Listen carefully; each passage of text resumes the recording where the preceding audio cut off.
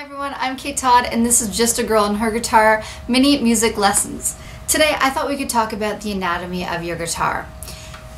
If you've just gotten a new guitar, it's really cool to be able to learn the names of the structure of your guitar. So here, when we turn it this way, we'll see it is very similar to a human anatomy in a way. So I think that's kind of a cool way to look at it because this part is called the body. And we see we have different contours and lines depending on the make and model of a guitar. This one here is a Gibson singer-songwriter and I absolutely love it. All right, so down here we have the bridge this is a sound hole where you're going to be strumming over and where sound is going to be produced. If we flip it this way, we have the neck of the guitar.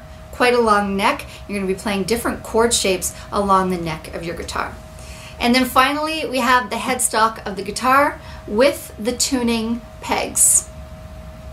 The next really important thing I think you have to know if you're an absolute beginner uh, is the name and number of the strings.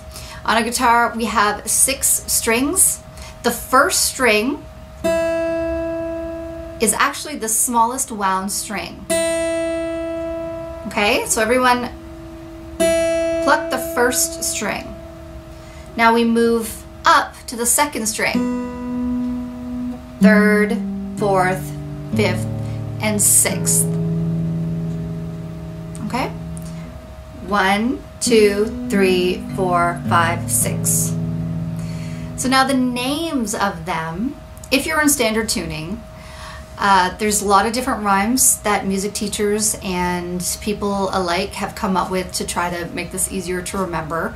But essentially, they are E, A, D, G, B, E. Okay?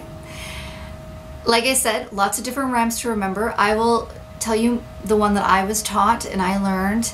Uh, it is eat a donut, get best enjoyment. I'm not saying it's the most witty or inventive one, but it has stuck with me and maybe it'll stick with you. like I said, Google it or make one up. That's what I encourage my students to do. It's a lot of fun and it might kind of personalize it so you can remember. All right? So that has been Just a Girl and Her Guitar mini music lessons. Check out the other videos on my channel. You can learn finger walking tutorials or how to palm mute. I hope you have a lot of fun exploring your guitar and looking forward to jamming out with you soon. Peace.